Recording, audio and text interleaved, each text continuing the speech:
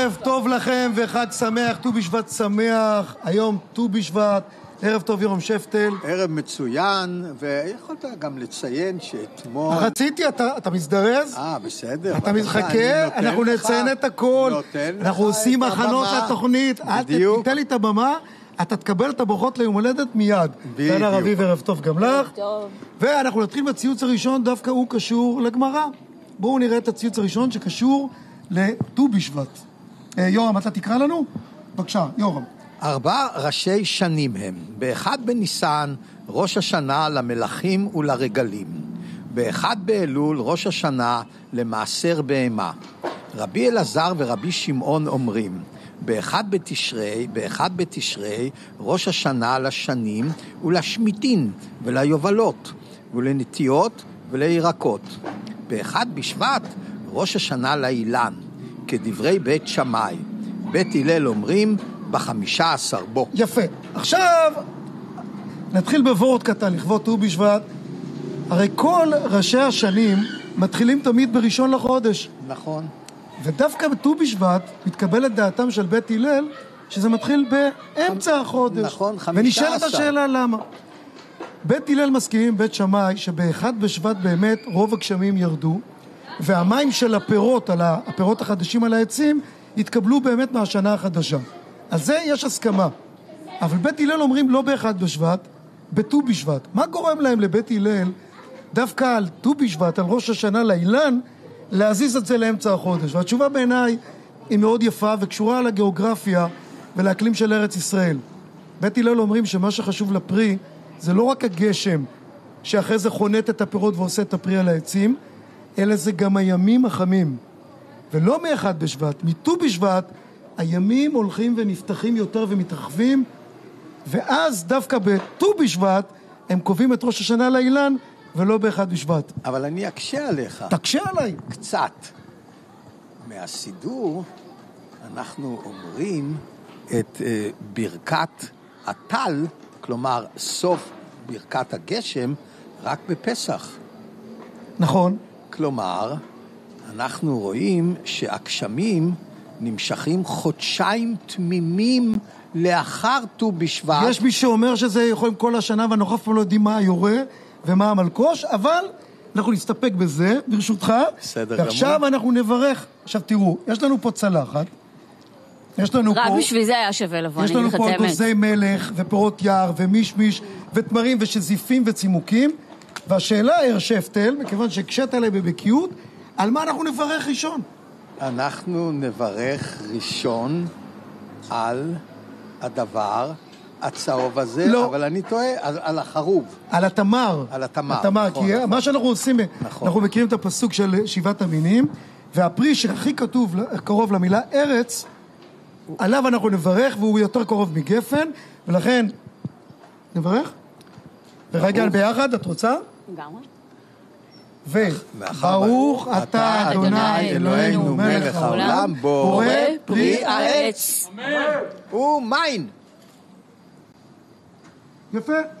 עכשיו אחרי שאמרנו את זה ואכלנו את זה, אנחנו נאחל מזל טוב ויום הולדת שמח ליורם שפטל. אני לא אגיד בן כמה אתה. אני אגיד, צוויין זיבציק. צוויין זיבציק. 72 למי שלא יודע ביידיש. והדבר האחרון שאני מתבייש בו בחיים שלי זה הגיל שלי. יישר כוח גדול. הדבר האחרון. כל הכבוד, זה מראה שאתה הולך עם עצמך ושלם עצמך, זה מצוין. אה, בואו נתחיל עם הציוצים, בינתיים תגיד לי אתה, מה עשה לך את היום? אמ, שום דבר מיוחד, שום אני דבר מיוחד. לומר. לא, אז בוא תקרא את זה, ברשותך. אם אתה יכול? לא, זה אתה אני תקרא. אקרא. חשוב להזכיר שאביב כוכבי הוא בין האנשים שהובילו את התחבורה הצבאית של הליכת דרך קירות הבתים, אחרי ששברו אותם כמובן במהלך מבצע חומת מגן, זה היה באזור שכם, למרות שבכירים ממנו התנגדו. אם הוא עדיין עם סכין בין השיניים ועמוד שדרה מברזל, הקטילה מכיוון הברנז'ה לא תזיז לו. ואנחנו מתייחסים לציוץ הזה של נווה דרומי, לסיפור היום אולי, לסיפור שבו אביב כוכבי מפתיע את כולם, דווקא בנורמליות של הדברים שלו, שהוא מגבה את ראש הממשלה ואומר, חברים, הסכם עם איראן הוא לא טוב, ואז קמים אנשים בשמאל, מאר שפטל, שמאל הקיצוני הפנאטי. ואומרים, מה קורה פה? ומה שאני רוצה לשאול אותך, הם הרי תמיד הסבירו לנו שצריך לשמור על שומרי הסף. והנה כאן, פתאום ששומר סף לא חושב כמוהם, אז הם פתאום מבקרים אותו, ראיתי היום כותרת בהארץ, מה פתאום כוכבי מחנך את הממשל האמריקאי החדש. תקשיב, הם, הם מודעים לעצמם. הם מודעים לעצמם, והם לא יכולים, כלומר, זה סוג של איזה מין אה, בלתי נשלט. זה דחף לאו בר כיבוש, בלשון משפטית נטו.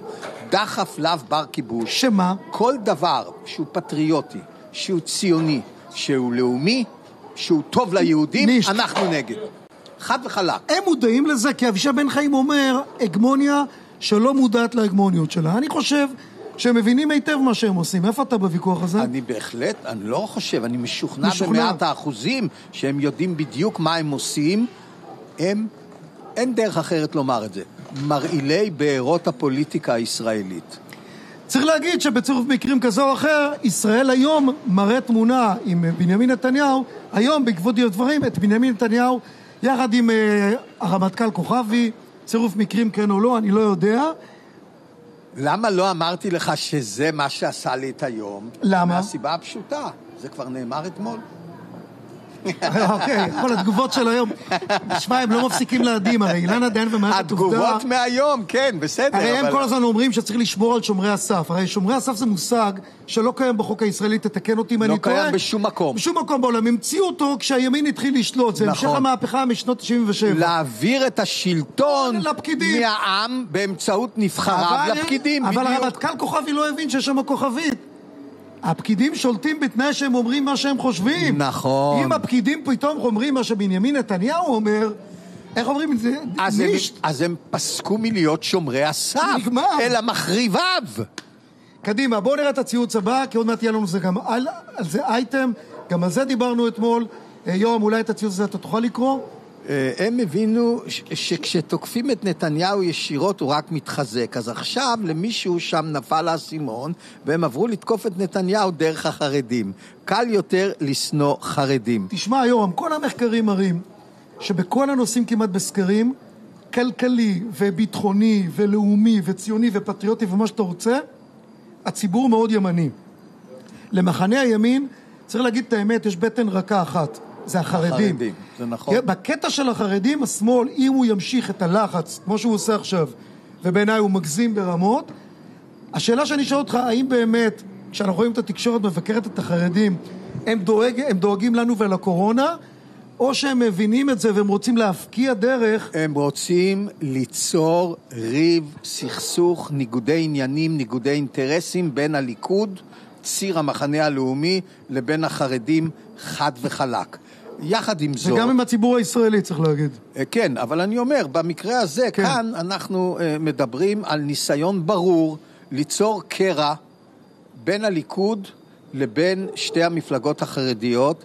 זה לא יצלח. אגב, אבל, זה לא יעזור להם כל ההתקפות האלה, כי תראה, גם לפי הסקר שקר, וכל סקר שיוצא מבית הגידול של אה, נניח ערוץ 12 הוא סקר שקר, וזה הוכח עשרות פעמים, בכנסת הבאה יש 80 ומעלה ח"כים שמגדירים את עצמם ימין או זה חרדים. דבר מדהים. אתה זוכר כזה דבר מתולדות המדינה? לא, דרך אגב, השמאל בשיא כוחו, פעמיים.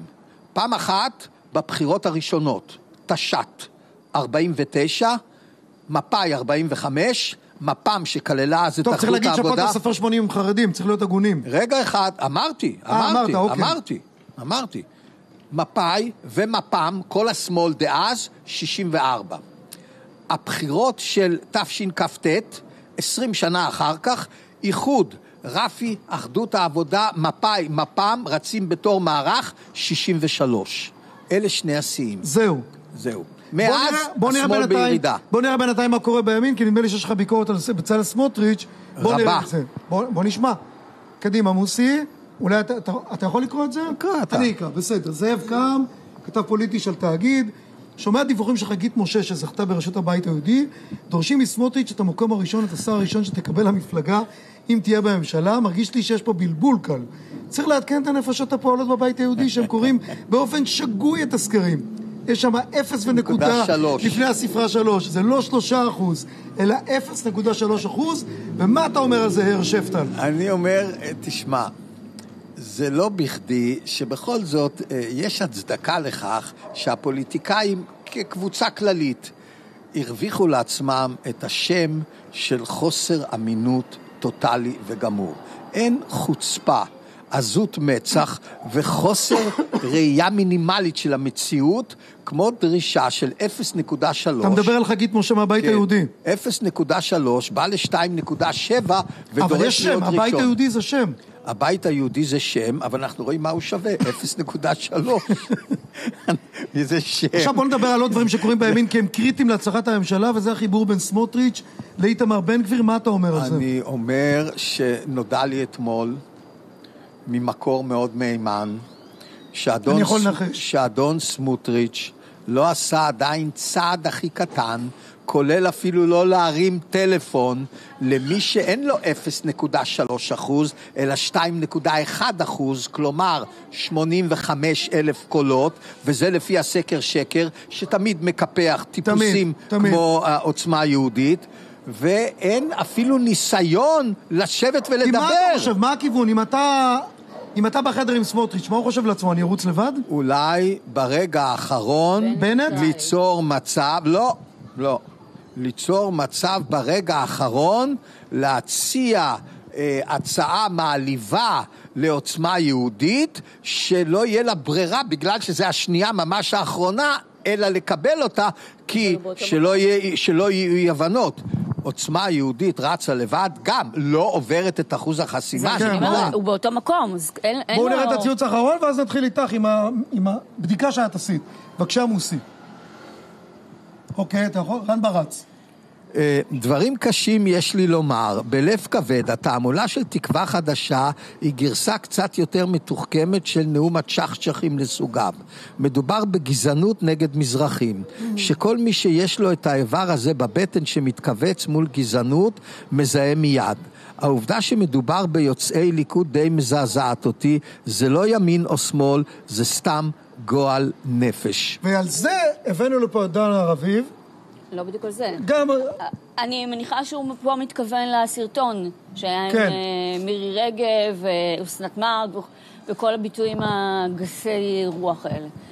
אה, אז אני רוצה להגיד שהסגנון הזה, זה לא אומר שסגנון מזרחי זה צריך להיות סגנון מכוער. ומ-2015 מה שקרה בליכוד, דעתי, זה נכנסו כל מיני גורמים שהביאו את השיח למקום שאני לא, אני התביישתי להיות חלק מהליכוד בזמן הזה. אני התביישתי. אני אגיד לך את האמת, זה לא הסגנון שלי, זה לא הסגנון, אני חושבת שזה... בגין, זה, ת- תחשוב איזה סגנון היה לבגין, איך זה קשור? איך זה קשור? ואיך זה קשור דווקא למזרחיות? פתאום הסגנון הזה... חשבתי שאתה באת לדבר גם על המפלגה הלבנה של גדעון סער. רגע, סליחה, אני באתי לדבר, רק שנייה, אני באתי לדבר על המאמר שכתבתי. אין לי בעיה. או, אני באתי לדבר על המאמר שכתבתי, שזה בא בעקבות בעצם המאמר שכתב אה, יעקב אחימאיר. אה, יעקב אחימאיר דיבר על אה, בני... אגב, זה נכון שהנר של גולדה מאיר, אבל נר של יעקב אחימאיר?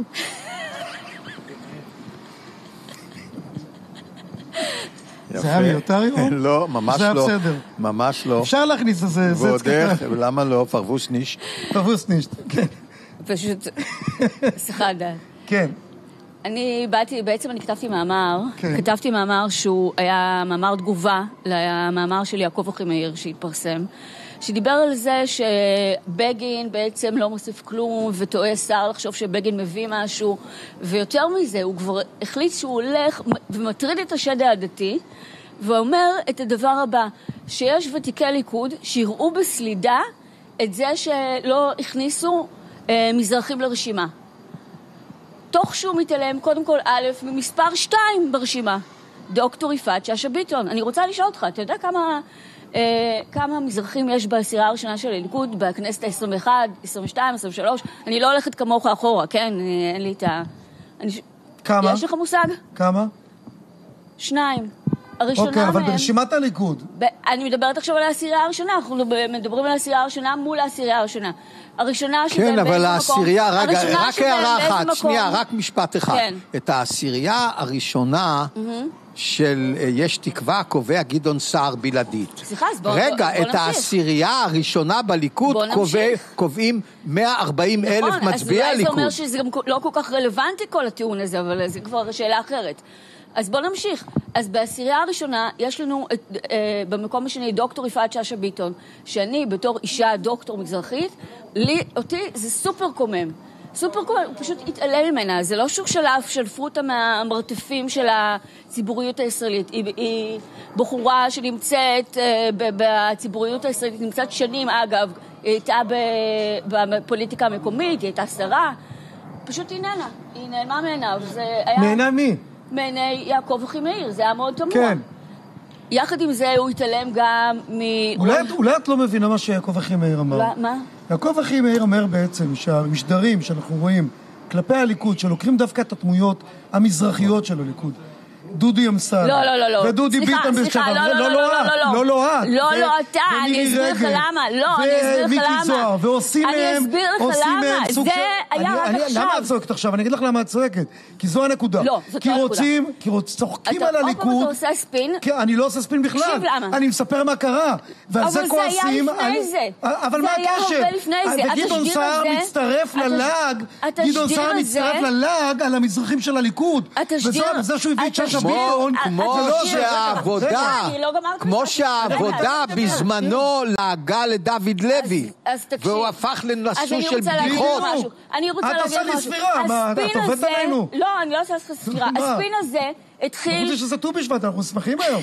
ואת מעציבה אותנו. תקשיב שנייה. במיוחד את שפטל אחרי יום. הולדת. ראש השנה זה- לאילנות. לאילנות, באמצע זה- החודש. תקשיב, זה כן. ספין שהתחיל מהרגע... זה לא ספין, זה מציאות. זה לא מציאות. אם יש שלושה וחצי בעשירייה... את המיקרופון ליד הפה. אם יש שלושה וחצי מזרחים בעשירייה הראשונה, שהעשירייה עוד לא? נסגרה, עוד לא נסגרה, ואומרים שזו לעגו מפלגה. שמאלנית, לעגו אליטיסטית. למזרחים של הליכוד? סליחה, לא לעגו, לא לא- לעגו. לא איך לעגו? לעגו? לא נו, לעגו, באמת. הראו נו עובדות, באמת. הראו עובדות, חוץ אה, הראו מזה- עובדות. חוץ מזה למה הראו עובדות רק- עובדות על המזרחים של הליכוד? רגע, את מחייכת עכשיו. את יודעת למה את מחייכת?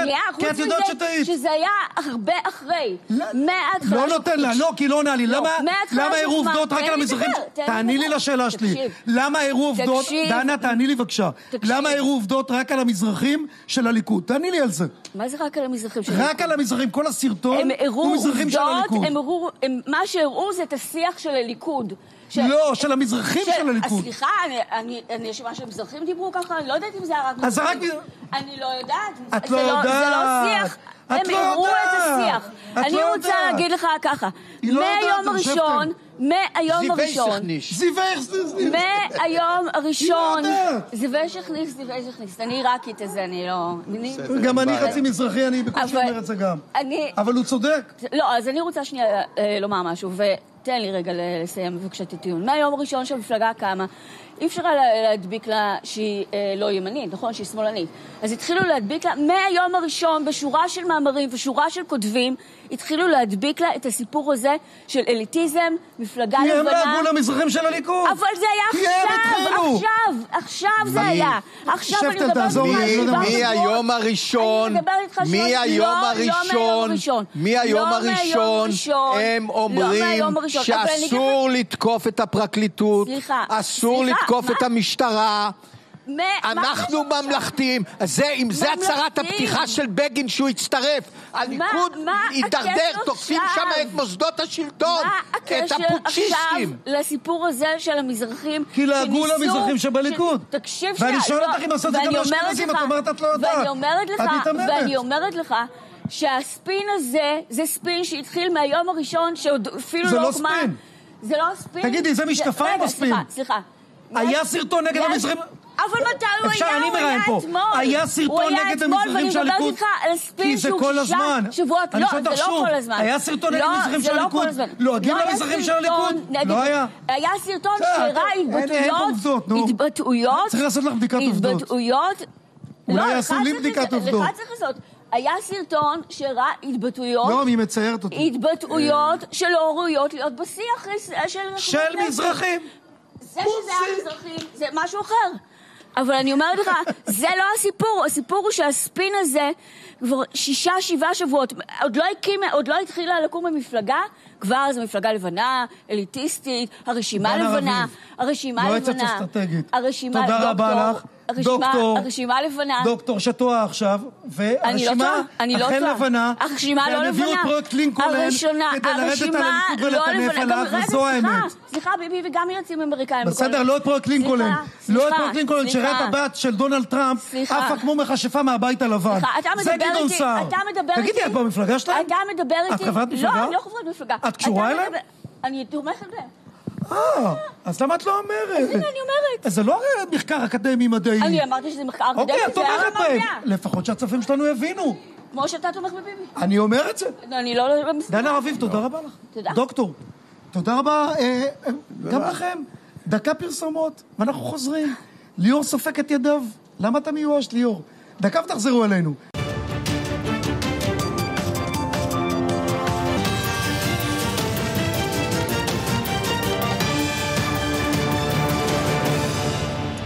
חזרתם אלינו, ועכשיו אנחנו עם רח"ט מחקר לשעבר, תת-אלוף במילואים יוסי קופר וסר. ערב טוב. ערב טוב מאוד. אה, אני אשמח לשמוע את ההתייחסות שלך לדברים המעניינים שאמר הרמטכ"ל כוכבי לגבי הסכם הגרעין. האם אתה רואה פה גם את האמירה שלו וגם את הבקשה של צה"ל לעוד שלושה מיליארד שקל כדי לשפר, לעשות תוכניות תקיפה באיראן, כחלק מהמשחק מול הממשל החדש בארצות הברית, או שבאמת יש פה דיון פנימי ישראלי? אה, זה גם וגם. יש פה אה, עמידה מול הממשל האמריקאי כדי להסביר עד כמה זה חמור לחזור להסכם הגרעין מ-2015, ולהסביר את זה זה מאוד פשוט. אם האיראנים כל כך רוצים לחזור לשם, סימן שזה טוב מאוד לאיראן, אז ברור שזה רע הברית ורע לישראל, ואת זה אפשר להסביר בקלות. ויש פה גם היערכות לקראת האפשרות שבכל אופן הממשל ירצה לחזור לשם, או אם לא יחזור לשם, האיראנים ימשיכו להתקדם בדרך שבה הם מתקדמים כרגע לקראת הנשק הגרעיני, וכמובן, עוד יותר חשוב, חמור, אם יחזרו לשם, האיראנים יתכוננו לקראת הרגע שבעוד עשר שנים, על פי ההסכם הזה, ניתן יהיה מבחינתם לייצר ארסנל גדול של נשק גרעיני בלי שאף אחד יפריע להם. ומול כל האפשרויות האלה, ישראל צריכה להיערך, וזה מה שהסביר הרמטכ"ל, זה די ברור שנדרשת היערכות כזאת. האם בדיוק צריך עוד שלושה מיליארד או לא, אני לא בקיא בדיוק אז, אז רגע, אז לא יוסי, יש בדיוק על. השלושה... יוסי, יוסי, יש לנו דיליי טיפה, כן. פשוט אתה מדבר על היערכות ועל השלושה מיליארד ש- דולר, או שקל לדעתי. שקל. שקל, לא דולר. תשמע, היה, אתה יודע, היה מי ששאל, לא הבנו, עד עכשיו אין למדינת ישראל תוכנית תקיפה נגד איראן? פתאום אנחנו צריכים שלושה מיליארד שקל כדי לעשות תוכנית תקיפה?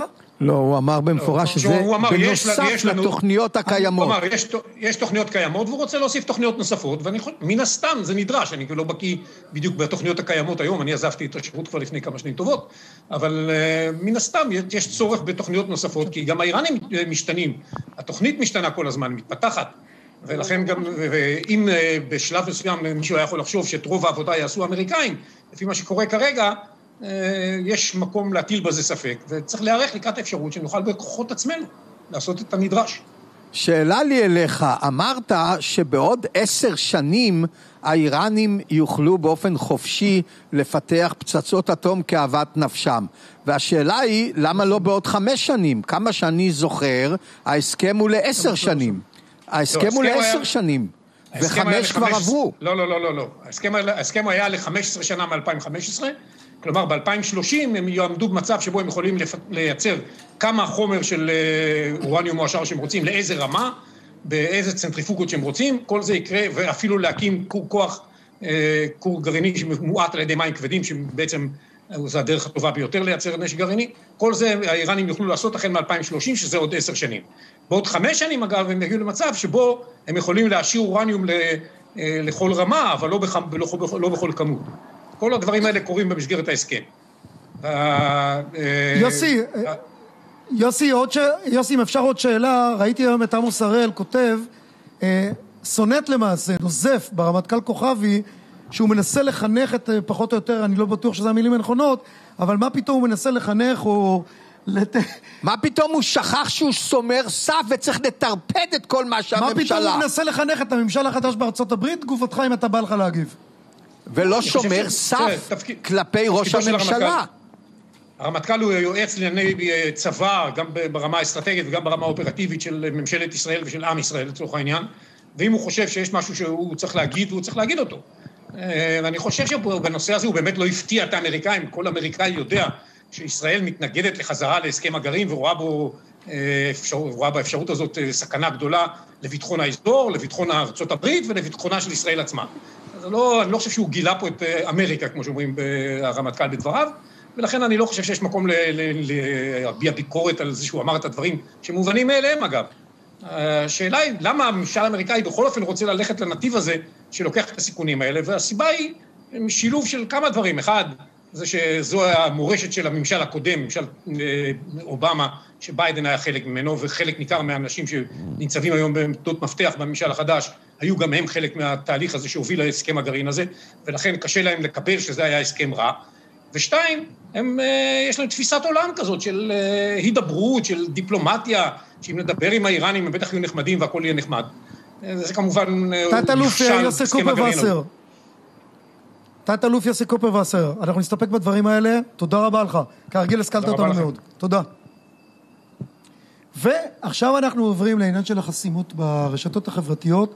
התחלנו עם זה אתמול ואנחנו נמשיך לדוש בזה, לנסות גם למצוא תגובות מנציגי פייסבוק וטוויטר בישראל, אבל עכשיו אנחנו נראיין מישהי שחסמו אותה. רק הערה קטנה, מתי יחסמו את השמאלן הראשון? יש טענות שחושפים, אני לא יצא לי לראות אותם, אני רואה רק ימנים. ערב טוב למוריה תשובה, נכון? ערב טוב, כן. כן, מה שלומך? בסדר. מתרגשת? קצת, פעם ראשונה. שימי את המיקרופון יותר קרוב לפה. אה, אוקיי. יפה. אוקיי, תספרי את הסיפור שלך, מה קרה לך?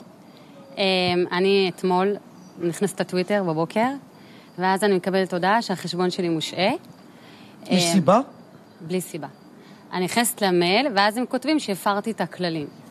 הם לא כותבים לי כמה זמן החסימה. אוקיי, אנחנו רואים את המייל שאת קיבלת, בואי נראה שנייה, נקריא את זה. אה, שלום, החשבון שלך, מוריה תשובה הושע, עקב במיוחד עבור מידע למניפולציה בפלטפורמה ודואר זבל. אוקיי, אה, מוריה? מה? לפי טוויטר את עושה מניפולציה ודואר זבל. לא שאני מבין מה זה אומר זה לא- כל כך, אבל אני זורם איתם. את לא... מקללת, את מגדפת, את אלימה, את משתוללת. את מסיתה ים... לאלימות. לא. את מסיתה לאלימות. הנה, אנחנו רואים, אה, כן, אה, כן עוד פעם את הזה. נכון. כן, זה היה הודעה בטוויטר, זה בסדר, אפשר להסיר.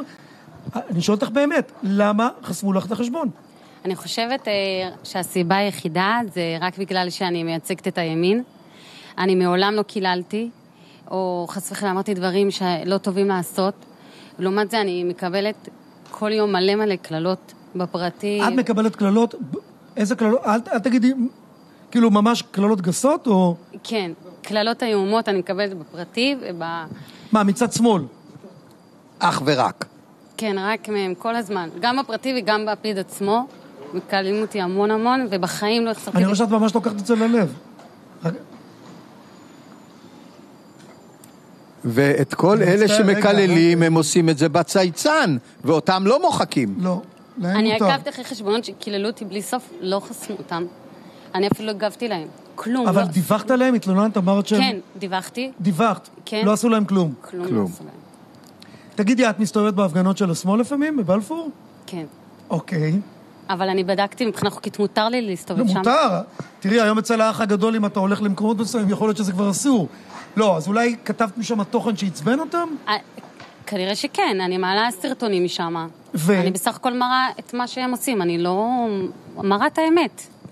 הרשבתם. אני רוצה לייעץ לך... איך אומרים? יאנג פרו. כן, גברת צעירה. גברת צעירה, נחמדה, נראית לי אישה טובה, בחורה טובה. מה זה? למה עושים לה את זה? משום, תראה, הצייצן, שאתה מתעקש לקרוא לו טוויטר. הצייצן. הצייצן, כמו גם ספר הפנים, קרי פייסבוק, נמצאים בשליטתו של היהודי שלדעתי הוא היום האדם הכי בזוי שקיים בעם היהודי, והכוונה למרדכי הר סוכר, שבלעז זה צוקרברג. כן. מרק צוקרברג, שהוא גדול סותמי הפיות היום עלי אדמות. עכשיו, הוא לא סתם סותם פיות כדי לסתום פיות, הוא סותם פיות בברית עם המפלגה הדמוקרטית להשליט שלטון כדי טרור. להם, כדי שישמעו להם על סעיף 230 בדיוק, כדי, עוד מילה, כדי להשתלט באופן מוחלט על השיח השמאלני ברשתות. ברור. מוריה, כמה פעמים חסמו אותך? פעמיים. פנית למישהו? את מכירה אנשי ציבור? אה, לא, לא פניתי למישהו. שלחתי להם רגיל, אבל הם לא, לא יודעת. מה לדעתך אנשי הימין, אה, את, אנחנו צריכים לעשות? אני חושבת שיש פה איזה משהו הרבה מעבר, יכול להיות שאפילו זה לא שדיווחו מלא אנשים לחסום אותנו, יכול להיות שמישהו פשוט הפיל את הפרופיל ככה. אני לא יודעת, אולי מישהו עומד מאחורי זה, אני לא יודעת באמת, זה מוזר. ואת יודעת מתי החשבון שלך יחזור? לא, אין לי מושג. כלומר, זה, יכול להיות שזה כלום. עוד יומיים ויכול להיות שזה עוד שנה. נכון, תמיד הם רושמים, מושל לשבוע נגיד, כלום, אני אין לי מושג מתי זה יחזור. תראי, אני יכול לספר לך שאנחנו ניסינו לפנות, וגם לך אני רוצה לספר, ניסינו לפנות לטוויטר ישראל, וניסינו לבקש תגובה מכל ה... זה לא רק אה, הר סוכר, יש גם הר מלח, דורסי מטוויטר, אוקיי? לא ענו לנו, לא קיבלנו תשובה. אה, יש פה אנשים שכנראה מרגישים שהם שולטים פה בכולם, והם עושים מה שהם רוצים. מה את חושבת שאנחנו צריכים לעשות? מוריה, שאל אותך שוב. אני חושבת, אני לא יודעת, אם חסמו את טראמפ כבר אין לי מה להגיד. אני לא יודעת. האמת שהיא צודקת. אני לא יודעת. עזבו את טראמפ. מה אנחנו נגיד באמת? אני אגיד לך? מה לדעתי צריך לעשות. אוקיי. תראה, בית המשפט העליון, תוך כדי זה שהוא מיישם פרקטיקה של שוד משפטי, קבע שחופש הביטוי הוא עיקרון חוקתי. אם הוא עיקרון חוקתי, לאף אחד אין רשות לפעול נגד חופש הביטוי, גם אם מדובר במוסד פרטי. לכן, ירון, אתה מתלוצץ איתי? רגע אחד. אתמול בית המשפט העליון פסק שמותר לפרוץ לטלפונים של אנשי ראש הממשלה, אבל אסור לבקש תעודת זהות. אני יודע, אני יודע, אני יודע לגמרי, אבל בואו נעמיד את בית המשפט בחזקתו. חופש הביטוי הוא עיקרון חוקתי. לאף אחד אין רשות ואין יכולת משפטית לפעול נגד שום עיקרון חוקתי. בואו נראה את בית המשפט העליון מוציא פסק דין שאוסר היא על... יכולה לתבוע טוויטר? כן. שאוסר... יכולה? כן, בהחלט. אתה תעזור לה? אני אשתדל. אל תברח אותי. אני לא, אני אומר לך, אני אשתדל. באמת? כן, אני אשתדל. היא לא עשתה כלום, אין שום סיבה אין- שהם יחסמו אותם. אין לי- ה- אין צל- סליחה שאני אומר הרשעים האלה. לי לא נתנו לפתוח עמוד, חשבון, למה? בספר הפנים. למה? כי אתה חשוד בזה שאתה תפעל בניגוד לעקרונות אה, שלנו. מראש אתה היית. מראש! או-אה. מראש! תשמע, ספר הפנים עם איתה, מוריה, את הולכת עם מאיר שפטל, אנחנו נעשה פה מקרה דוגמה, את הולכת לתבוע את טוויטר. אוקיי. שפטל הבטיח שהוא ינסה לעזור לך. הר שפטל, אני יודע שזמנך יקר, לא, לא, ואתה בסדר. מבכירי הפרקליטים בארץ, אבל זה חשוב. בסדר אנחנו גמור. נעקוב אחרי זה. מקובל? כן. מוריה, אני רציני. כן, כן, בטח. בסדר? ודאי. תודה רבה לך שבאת אלינו. תודה רבה. אני מתנצל בפנייך שאנחנו חיים בכזו חברה שסותמת לך את הפה, כי בעיניי זו בושה וחרפה שהם עושים אבל את זה. אתה לא צריך להתנצל. לא, אתה, אנחנו לא עושים כלום. אתה קורבן... סופרים פה אנשים. אתה אבל קורבן. בכוח של הטרור השמאלני הזה, ולכן לך אין מה להתנצל.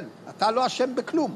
אנחנו, אנחנו חלק, אנחנו, אני בטוויטר, אני משתתף, משתף איתם פעולה. כן, אבל, אבל, יש אנשים למשל בסדר, שלא רגע. פונים לבית המשפט העליון, משום שבצדק אין להם שום אמון שהם יכולים לקבל סעד אמיתי וצודק לשיטת בית מי המשפט? מי העליון מגישה עצמו. תביעה? נג- היא בית משפט רגיל הם מגישה? נגד טוויטר, כן. כן. מוריה, אנחנו נעקוב אחרי זה. סגור. סגור. בסדר תודה גמור. רבה לך, מוריה תשובה. תודה רבה. שפטל, יישר כוח גדול. חבר'ה, פה קורים הדברים, אנחנו מנסים להזיז. לא יודע כמה נצליח בכוחותינו הדלים, אבל מנסים. פרסומות ותחזרו אלינו.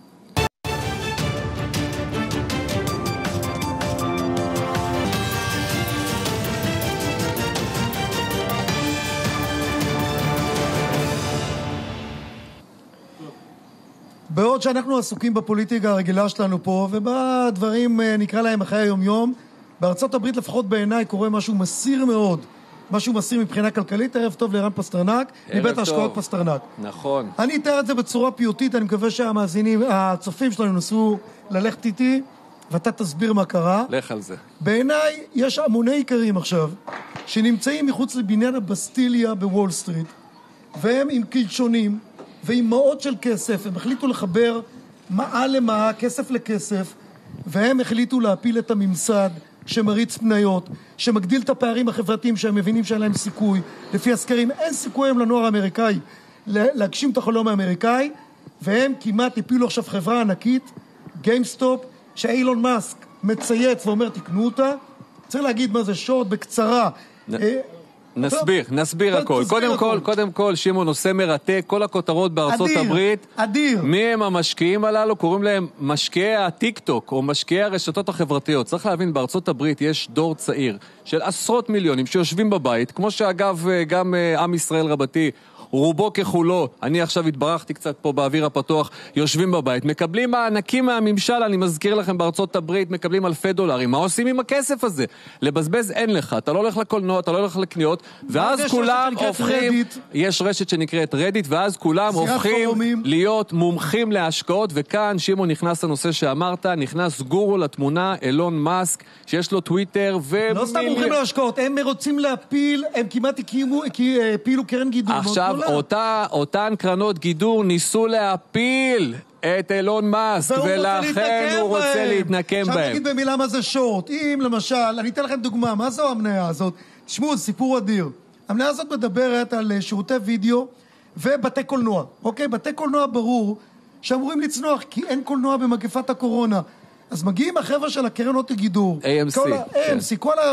כל הוול סטריט המוסדיים, ואומרים, אנחנו נשים עליה שורט. מה זה אומר? אנחנו מהמרים אופציה. מהמרים שהמניה תרד, וכשהמניה יורדת, אותן. קרנות אופורטוניסטיות, בואו נקרא להן. בזהירות, טורפי נבלות, סליחה שאני אומר את זה, נכון. מרוויחות כסף. אבל, רגע, רגע, רגע, שנייה, אני רואה כזה, ואז באים האיכרים, אותם אנשים פשוטים, עם המעות הפשוטות, והם אומרים אחד לשני, תקשיבו, כדי שהמניה לא תיפול, שהשורטיסטים לא יצליחו, אנחנו דווקא נקנה את המניה שהולכת להתמוטט, שבאופן אמיתי לא שווה כלום. עכשיו, מה זה באופן אמיתי לא שווה כלום? פסטרנק, יש שם מניות שבאמת שוות את כל הטריליונים? ממש לא, זה נכון? סוג של- ואז המניה הזאת עולה, אה, לתת לו לדבר? טוב, תן לי, תן אני לי גם. כן, הוא שואל אותי שאלה, עונה במקומי, ועוד מעט הוא יגיד לי שאני לא מבין. אבל. רגע, אבל רגע, הנקודה הזאת היא נקודה חשובה. כי מדובר פה בעדר. זה אדיר. מדובר פה בעדר עדר של שרוצה משקיעים, להפיל אתכם. שאף אחד, רגע, רגע, אני רואה שהוא ממש, יכול להיות שגם אתה נמצא שם, אני תן לא. יודע מרוב ההתלהבות. אבל צריך לזכור, חבר'ה, מדובר בהמוני משקיעים, שאף אחד לא העריך את הכמות שלהם, את הכסף ואת הנכונות שלהם. ואולי אתה יכול להעריך את הכמות, במה מדובר מבחינה כמותית מ- של משקיעים. מדובר במיליונים של משקיעים שהתאגדו יחד היום ברשתות החברתיות, בבת אחת כולם יכולים להתכנס ברגע למטרה שפטל, אחת. המניה עלתה ב-685 אחוז, והמניה השנייה יותר מ-200, היום היא זינקה נכון, AMC. נכון, יותר מ-200, AMC והשאלה, וג- וגיימסטופ. שאלה גדולה שהבן שלי שואל אותי, וזה הסיפור הענק, בשדה המערכה, בארמגדון, מתכנסים המוסדות מצד אחד, וכל האיכרים מצד שני, ואני שואל אותך, ערן פסטרנק, מי ינצח? מי ינצח? או, שאלת השאלות. קודם כל לגבי השורט, נכנס פה שלב יותר מעניין, שאותן קרנות אופורטוניסטיות נכנסו למצב הכי קשה שיכול להיות, שקוראים לו short squeeze. מה זה short squeeze? הן חייבות לצאת מהפוזיציה, חייבות. ואז באופן פרדוקסלי, בשביל לסגור את פוזיציית השורט, הן צריכות לקנות את המניה בחזרה, ואז הם מרימים אותה עוד יותר למחוזות שהם לא סבירים בעליל. וזה מה שקורה. עכשיו, חבר'ה, צריך לזכור, בתי הקזינו סגורים. הכל הולך עכשיו לשוק ההון. לא, זה אמיתי, הם מחפשים את האדרנלין בשוק אבל ההון. זה מה שאנחנו טוענים תמיד, וול סטריט היום זה פייק, זה בלון. זה ייגמר איך זה ייגמר? בבכי, זה ייגמר של בינתיים של קרנות הגידור שהם קיבלו את המכה היא כמעט הקשה. התמוטטה, הקרן אבל, גידור. אבל מה שקורה, אנחנו בודקים מה קורה עם המשקיעים הצעירים האלה. הם לא מסתכלים על דוחות כספיים, הם לא יודעים מה זה דוחות כספיים, הם לא יודעים לא מה מאמינים, החברה הם עושה. צופים. אילון מאסק אמר, קונים. תגיד לי, יש לא- קשר בין הביצועים של החברות לבין השווי שלהם? של אלו, כלום. של מי כן? או, חברות אחרות זה כבר סיפור אחר. פסטרנק. עכשיו, אני מבין את השאלה ששואל אותי שמעון, ואני רוצה להסביר מהיותי כלכלן. בטווח הקצר, אל תחפשו מתאם בין מה שחברה עושה לבין השוק, אבל בטווח הבינוני ארוך זה אמור להתכנס לשם. סבלנות ולא לבעלי לב חלש. מה שקורה בארצות הברית זה רכבת הרים, באמת, נושא מאוד מאוד מעניין, כי אנחנו רואים עכשיו, אנחנו כמו צפויים שאתה קורא להם... להתמוטטות פברואר-מרץ הקלאסי? א', אין לי מושג מה יהיה בפברואר-מרץ, אני כן יכול לומר שההנחה המרכזית של מרבית הגופים המוסדיים בעולם, הבנק הפדרלי, גם בארצנו הקטנטונת, בנק ישראל, האוצר, שמאמצע 2021 העולם חוזר לשגרה. עכשיו אני אומר את זה לכם. איזה שגרה? מה שגרה? אף אחד לא מצליח להפנים שמחר פותחים מסעדות, פותחים בתי קולנוע, אבל חברים, אתה תקנה מניות לפי המלצות של. אילון מאסק? אני פחות. כי אתה ממסד. אה, אם אתם לא ממסד, אם אתם רוצים להצטרף לעמק... טוב, אני לא ממליץ, אני לא הוא, אומר הוא כלום. מוכרח אני לא- להיות ממסד, כי הוא רוצה שאנשים... לא רוצה להירגע, זה מלהיב. הוא רוצה שאנשים ישקיעו אצלו, הוא צריך להראות נכון, הוא. פנים רציניות. הוא לא כמוני, אצלי אף אחד לא משקיע כסף. בדיוק, בדיוק. ככה. בדיוק. צריך לשמוע אותך שתי שניות, וכל כסף שמישהו חשב להתקרב אליך, הוא יברח. או, והדרמה עוד לפנינו, ופה אני רוצה להגיד דבר אחד, כן. דבר אחד, אה, בוודאות אפשר לומר, אי הוודאות עוד כאן, והרבה מאוד אירועים שהם בפתח בישראל, בחירות, הקורונה עוד כאן, ישפיעו על השווקים, אבל בטווח הבינוני ארוך, ככל שהכלכלות ייפתחו, צריך לזכור שהכלכלה הישנה, שלא דיברנו, אנחנו מדברים הייטק, הייטק, הייטק, כלכלה ישנה, הבנקים, הנדל"ן, בסדר. הם כאן והם עוד יתאוששו חזק. תודה רבה לך, רם פסטרנק. שמחתי. נקווה שאתה צודק. בריאות. אני, אני לא המלצתי על כלום, חברים, זה סתם התלהבתי מהסיפור. גם אני. פרסומות, תחזרו אלינו מיד.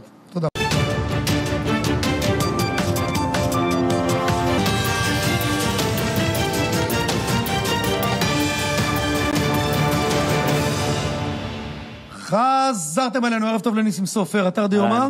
כן. והסיפור שלנו הוא שפי פז, והביקורת לכאורה עליה במקום הכי חם בגיהנום, כמה כסף היא מרוויחה.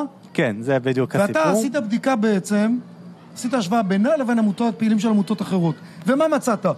חבר'ה. ניסים סופר הוא התחקירן שלנו. כן, לא ניסים. תחקירן, אני פובליציסט, אבל אה, הוא פה... הפובליציסט, אה, לא שלנו, לצערי. בד- בדקתי את הנושא. הפוליטיקה שלו מבוססת על תחקירים. זה תחקירים, נכון, נכון. זה נכון. במקום הכי חם בגיהנום פרסמו כתבת תחקיר, שהם... אה, העיקר שלה היה ששפי אה, שפי פז היא כאילו לא עושה רק ממניעים אידיאולוגיים, אלא יש לה גם מניע כלכלי במחאה שלה, שהיא אה, מושכת משכורת בצורה של ריטיינר מעמותת עוטף תחנה מרכזית. וזה עסק במשכורת שלה ובכמה כסף העמותה גייסה, וסך הכל העבודה העיתונאית הייתה טובה, אבל זה היה framing מאוד מסוים כדי להראות בעצם כאילו שיש לה... הרבה אה, פעמים ה framing יותר חשוב מהכל. זה, זה כן, בפובליציסטיקה זה יותר אה, לגיטימי לעשות framing, בכתבת תחקיר זה יותר עיתונאות הארדקור, יותר כן. צריך אה, להסתפק בעובדות. הסכום שהיא מושכת? 7,620 שקל, ב- לפי עדותה ש- ב-2020. אני יודע שמנכ"ל או מנכ"לית בצלם מושכת 350 אלף. זה, טוב, זה אני לא, לא בדקתי, אבל... אני בד... אה, אם תרצו, בדקו, 350 אלף שקל בשנה. אה, אני דווקא חושב שזה פחות, אני חושב שזה 200 ומשהו, אבל, אה, אבל בסדר, לא ניכנס לזה. אני, אני מה עשיתי? עשיתי משהו דומה. אני אמרתי, בואו נלך לבדוק את, ה, את המתחרים שלה.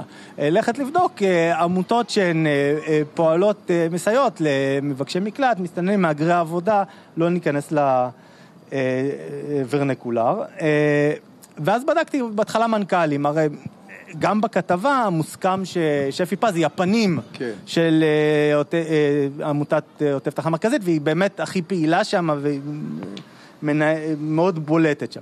אז בדקתי, לקחתי ארבע עמותות. ארבע עמותות שפועלות למען מבקשי מקלט, קוצ'ינטה, אסף, אליפלט והמוקד לפליטים ולמהגרים. הם, אה, מי שמתעסק בתחום, הוא, הם- זה עמותות מאוד מוכרות, מי שמתעניין בתחום. אפילו בלי להתעסק בתחום. אוקיי. אה, עכשיו, אה, השוויתי בהתחלה למנכ"לים, אז נגיד, אני מדבר לא על משכורת, אלא על עלות שכר. עלות שכר של שפי היא 7,620, כי היא מושכת ריטיינר כעצמאית. העלויות שכר של מנכ"לית קוצ'ינטה זה 10,000 שקל. עלות שכר של מנכ"לית אסף על 15,500 אלף שקל. לחודש. כן. הכל לחודש. הכל לחודש, כמובן. מ- אה, עלות שכר של אה, מנכ"לית אליפלט, צריך להיות אה, גרף, אה, אולי הם אה, תראו את זה. עלות שכר של מנכ"לית אליפלט, 16 וחצי, ועלות שכר של מנכ"לית המוקד לפליטים מהגרים, ש- כ-18 אלף שקל. וכמובן שהמקום הכי חם בגיהנום, כשמם כן הם, כמובן שלא עשו שום בדיקה על העמותות הללו, אלא אך ורק על הגברת שפי פז. אגב, כל העמותות הללו, בניגוד לשפי פז, ממומנים על ידי גורמים עוינים מחוץ למדינת ישראל. אני לא גורמים- ב... אני אומר לך, אני- לא, אני אני יודע בדיוק מאיפה הם. ממומנים, כי בדקתי את זה, אבל אני לא רואה בזה גורמים ככה. קיצוניים של מדינת ישראל, בראש ובראשונה מדינות השוק האירופי הארור, ובראש ובראשונה גרמניה, מי ייתן שמחר בבוקר היא לא תהיה קיימת על פני האדמה. הם אכן מקבלים תרומות זו מקום. לא, דרך אגב, חוץ מאחת, חוץ מקוצ'ינטה, שלוש מהן מקבלות אה, קרוב ל-100% תרומות אה, בכלל, גם מהארץ דרך אגב. ניסי, משפט לסיום, כי אנחנו צריכים... אה. אוקיי. בסדר, אז בכל מקרה, הם דיברו גם אה, על כמה, כמה סכומים גייסים, גייסה העמותה. אז הם אמרו שהיא קריסה בארבע שנים קרוב למיליון שקל, שזה נכון. אבל בדקתי את העמותות האחרות רק על 2019. קוצ'ינטה... אה, אה, תגיד אם יותר או פחות, ניסים. זה לא יותר, זה סדרי גודל, יותר הרבה קוצ'ינטה זה. שני מיליון, אה, אסף זה שלושה- ניסים 3.7. סופר, אתר דיומא, אני חושב שהנקודה... והכל. כסף זר עוין. מכל מה שאני לוקח מהאייטם הזה, זה שמחר בבוקר נקום בבוקר ונראה אם גרמניה קיימת או לא. אי אפשר לדעת. שפי פס תמשיך לשבת בבית כנראה, לא יודעת מתי.